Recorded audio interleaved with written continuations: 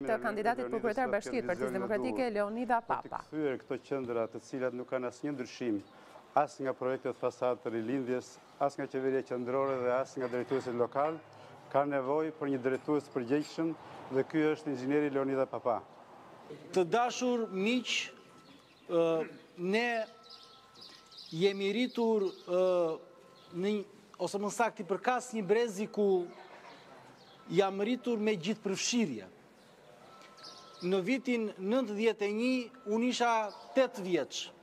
Sot kam fëmijët 12 dhe 8 vjeç dhe prapë të njëjtit ujqër në politikë, që nuk e lënë.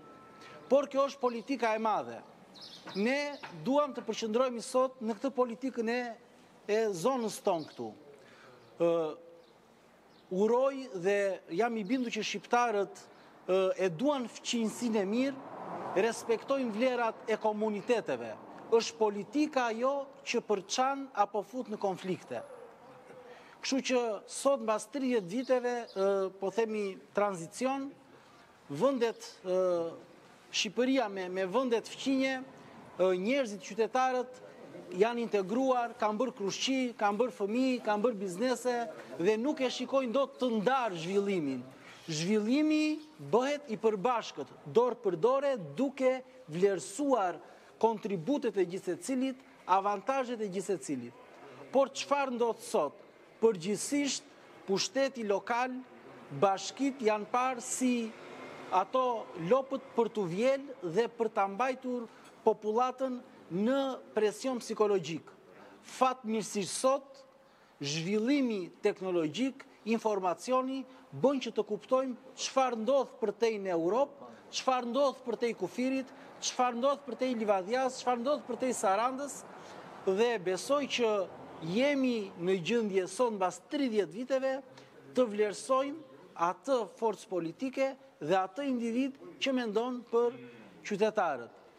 ftoj të shkojmë në votime të gjithë bashkë, kudo ku keni miq, shokë të afërm, duhet t'i nxjerrim në votime. Dalja në votime është aja, është pikënisja e ndryshimit.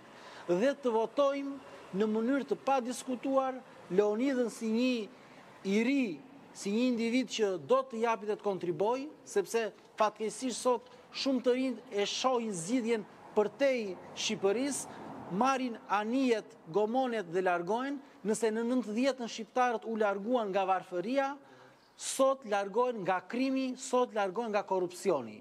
Kështu që ne do duhet të kthejmë, të kthejmë shpresën, emocionin në këtë vend. Dhe ja ku është një djalë i cili ka vendosur të qëndrojë këtu.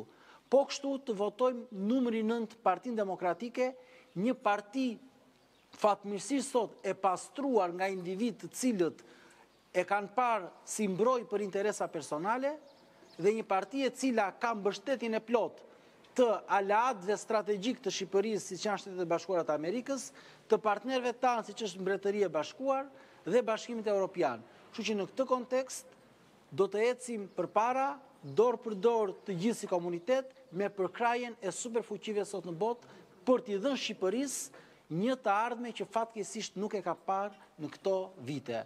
Ju uroj shëndet, mbarësi dhe thirrje për të qenë në votim masivisht. Ju falemnderit dhe ju uroj mbi të gjitha shëndet në familjet tuaja.